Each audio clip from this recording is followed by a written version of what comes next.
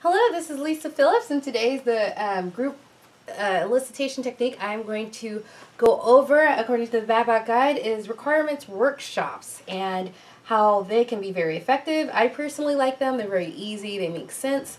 Um, and they can be used from the beginning and throughout. They're used at the very beginning to get um, use cases. Uh, where are you now? Where would you like to be? What's causing the problem? Where are the pains coming from? And you want to uh, make sure you identify the participants rather well. You know, this initial one will be with, um, you know, project sponsors uh, who was delegated the job of doing this um, improvement um, that, they're, that we're working on um, and also who they think are the key stakeholders um, and subject matter experts, the people actually doing the work, not necessarily managing um, the project.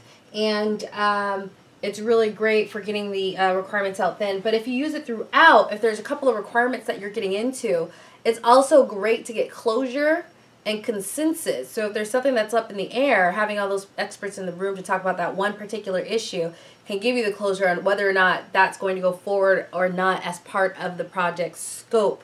And so in general, um, uh, you know, you go in, you clarify the purpose of the project, you organize it, you are the facilitator. The only issue is is that um, it's hard to get the everybody in the room together. Everyone has a very busy schedule, and you're trying to get them all coordinated. So they have to pack a bang for your butt to have that many subject matter experts and different people in the business in one room. So you know, once you get them in that room, you need to be prepared with um, where you're going to go, what you're trying to get out of it, and be very organized because you don't get necessarily two or three shots to do this once. So just keep that in mind. Once you get them, you make sure it's ultimately effective and you get exactly what you um, plan to get out when you go forward. So usually it can be anywhere from you know six to eight people that you invite, targeted with this you know people who do the work, people who manage the work, people who need to be informed, and any stakeholders that would like to take place to give their input on where this wants to go.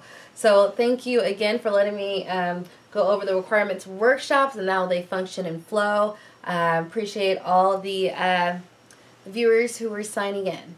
So thank you very much.